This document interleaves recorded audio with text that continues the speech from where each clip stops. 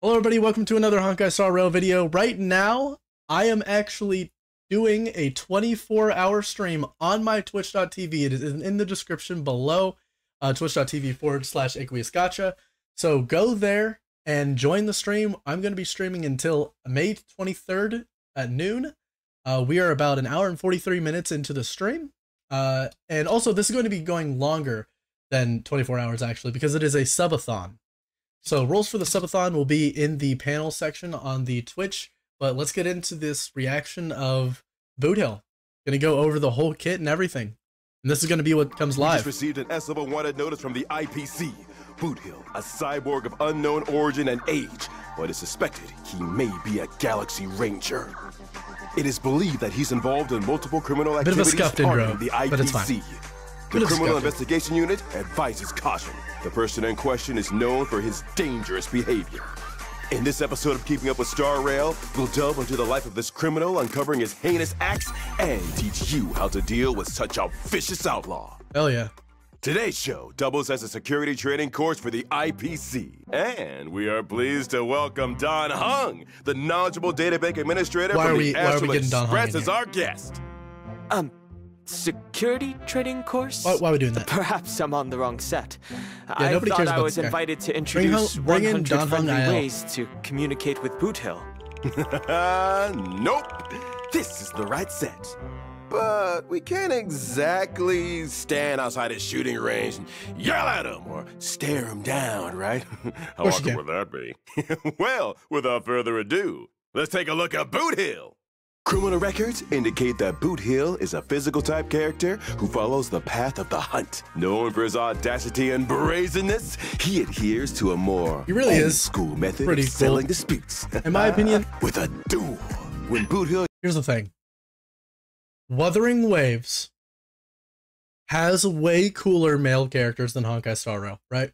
The only one that comes close, in my opinion, before Boothill was Blade. Now Boothill is in that discussion, right? Actually, Welt is kind of cool too. But whenever you look at someone as badass as Calcharo or as badass as Jiyan, you realize, holy shit, the bar is crazy. They actually have a character in there with a full beard and everything. Wow, imagine that. Um, so that would be definitely a something that I have a problem with in Honkai Star Rail, as opposed to Wuthering Waves in terms of like the character design and just Hoyoverse in general. Because it's kind of the same thing in uh, Genshin Impact. Same kind of a deal. I think the Wuthering Waves male characters are on average just a lot cooler looking, but I'm glad that Boothill is now in the game because this is definitely the second coolest male character, in my opinion. uses his basic attack, he deals physical damage to a single enemy.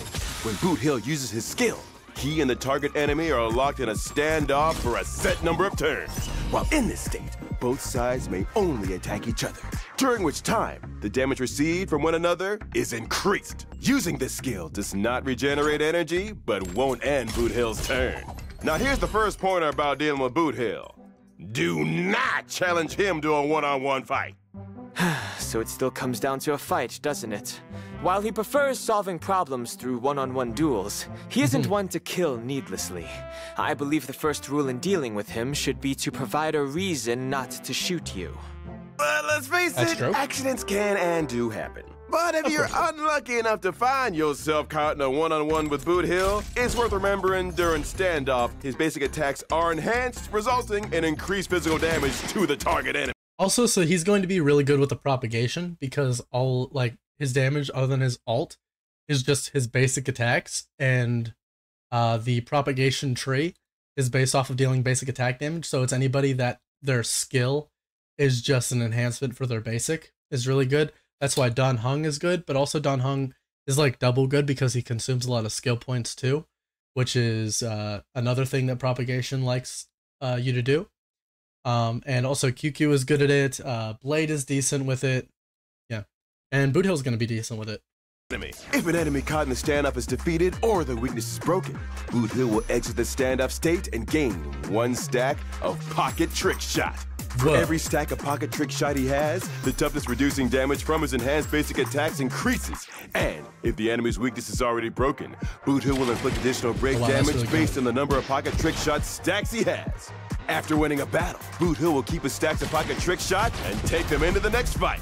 When facing Boothill, it's best to ask your sidekicks to wait on the sidelines. Waiting in line to be taken down by Boothill only serves to make him fight harder and longer. Bravery is tested against the strong, not the weak. Likewise, Boothill has no interest in fighting those who are weak. And after unlocking certain traces, Boothill regenerates energy every time he obtains Pocket Trick Shot. This effect is also triggered even after Pocket Trick Shot exceeds its maximum number of stacks. When using his ultimate, Boothill applies physical weakness to a single enemy for several turns, deals physical damage. It's really good because even if you don't have uh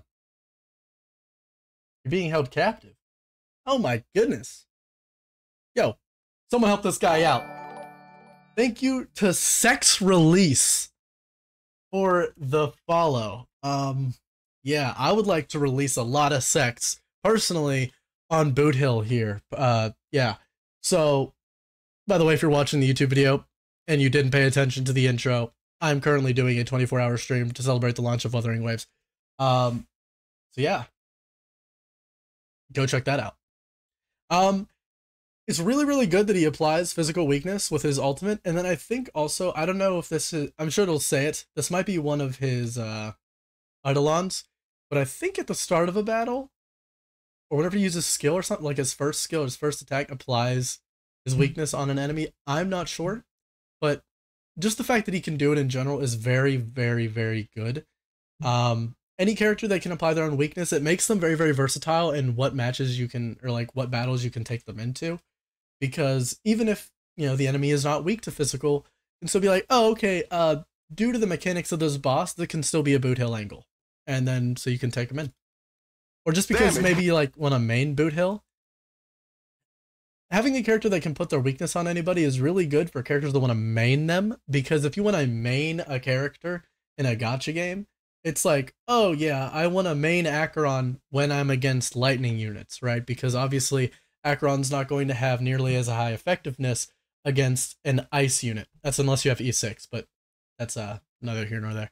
Um yeah it's really good. Also by the way um i had a dream that sam uh not sam yeah, Sam and Firefly, they can do that too with fire.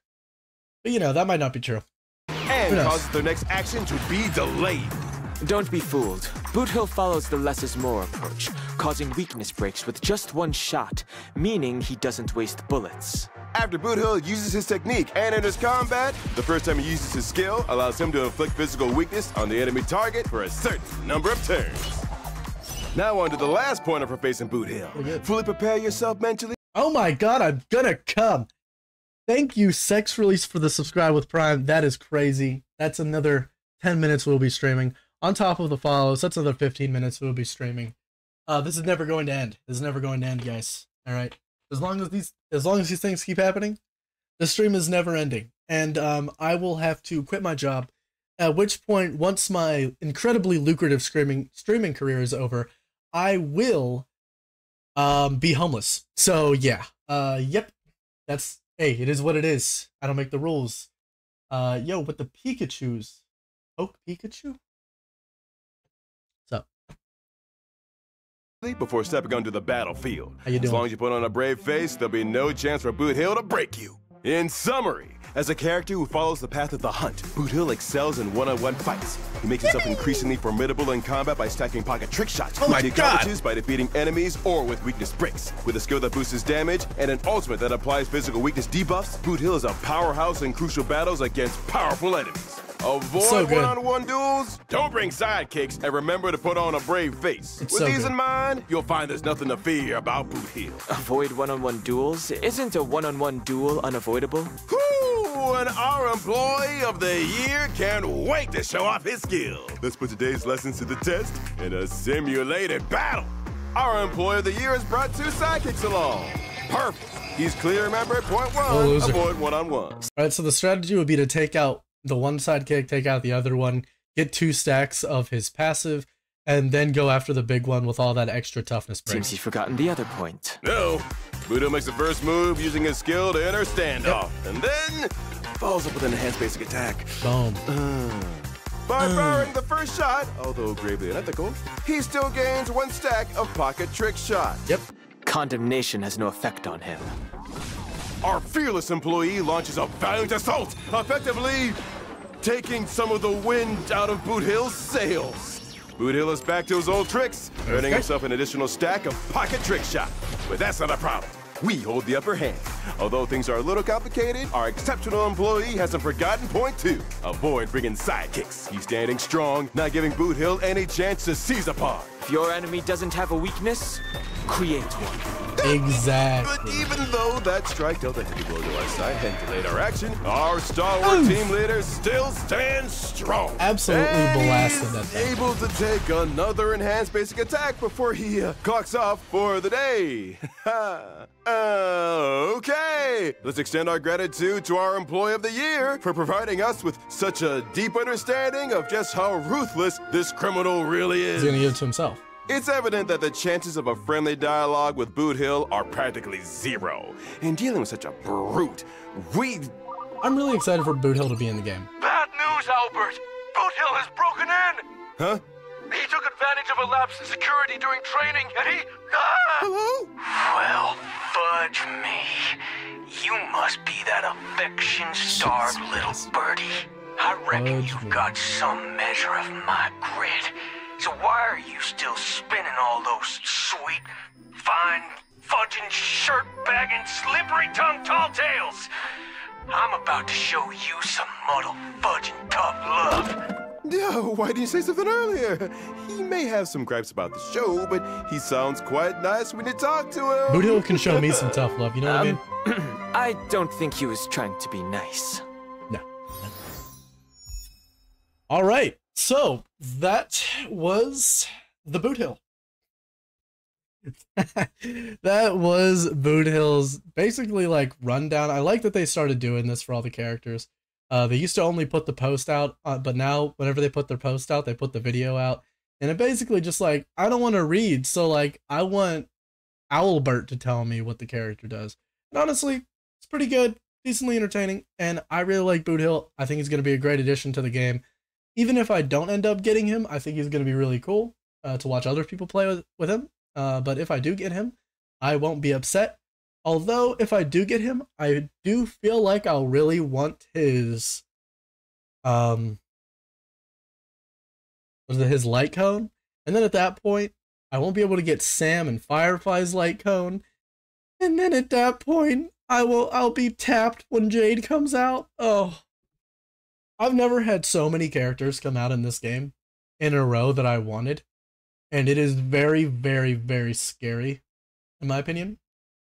Because I I am just afraid. I, I am like before I got everyone that I wanted for like the most part. Everybody that I actually really, really wanted. No problemo. Not having to spend almost any money. And then now this happens. Three characters in a row. Two of them, if I get them, I would really want their light cones. It's just it's rough. It's rough. That would be five things that I would have to pull on. Um but hey, we're gonna try our best. Uh, thank you all for watching. If you like the video, like it. If you dislike it, dislike it. And have a wonderful day.